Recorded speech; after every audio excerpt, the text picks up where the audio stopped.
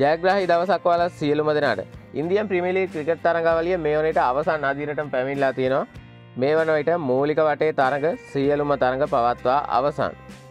ඉතින් අද දිනේදී ප්ලේෝ් වටේ තරඟ ආරම්භීමට නියමිතයි අද චෙන්නයි කණ්ඩෑම සහ ගුජරට් කණ්ඩෑම අතර තරගේ පැවැත්වෙනවා. මෙම තරගේ පස්සරු හතයි තිහට ආරම්භීමට නියමිතයි.